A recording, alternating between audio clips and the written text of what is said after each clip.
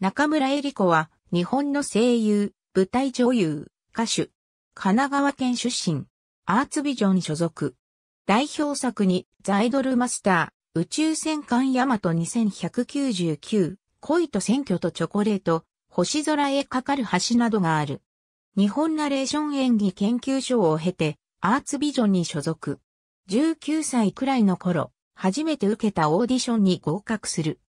これが後に、アイドルマスターシリーズとなり山貝遥役で15年以上演じ続けることになるゲーム作品だが、当時はプロトタイプだから有名じゃない子がいいと、社内コンペに出すためのオーディションで、タイトルも決まっていなかった。商品化の際、中村は降ろされる可能性もあったが、遥役続投を望まれる。中村は、とにかく歌が怖くてといった状態で、歌だけは別人に変更する案も出たが、音楽チームから歌声に力があれば大丈夫と言われ、再度オーディションを受けた。2012年10月にニュータイプ街遊びアニメアワード2012にて女性声優賞1位となる。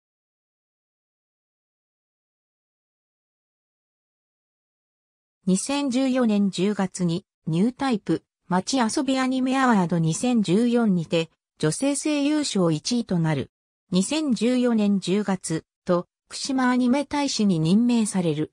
2019年11月19日、38歳の誕生日に本人のツイッターで結婚したことを伝える。趣味、特技は読書、鼻歌、おしゃべり、ぬいぐるみ劇。嫌いな食べ物に、人参、耳が、春菊をあげている。特に人参への苦手意識は、幼少時のトラウマから来ており、嫌いな食べ物として真っ先に挙げられていたが、その後は少しずつ食べられるようになってきている。親しい声優は今井あさみ、プリースター、アイマスタジオなど様々なところで共演しており、講師ともに親しくしている。デュオユニット AIN としてライブ活動なども行っている。吉田瞳とも親しく、2015年5月にユニット中吉を結成している。2006年1月21日に開催されたザ・アイドルマスターのシークレットイベントでは歌と舞台劇を披露した。そのステージでは自分の担当の歌だけでなく、その時不参加だった釘宮理恵の代役として歌を披露した。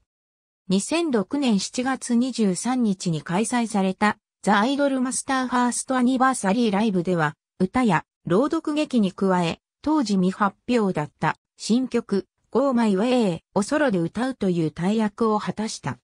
2007年1月25日に発売された Xbox 360版ザ・イドルマスターをプレイしていることを自身のブログで紹介している。太字はメインキャラクターはインターネット配信。ありがとうございます。